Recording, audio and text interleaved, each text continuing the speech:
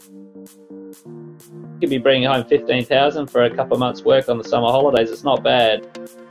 You know, it's physical. It's it's exciting, um, and they're making a heap of money. So yeah, it wouldn't be uncommon to take fifteen thousand, um, you know, or more home from the exercise, which is you know it's a handy little paycheck for a couple of months' work.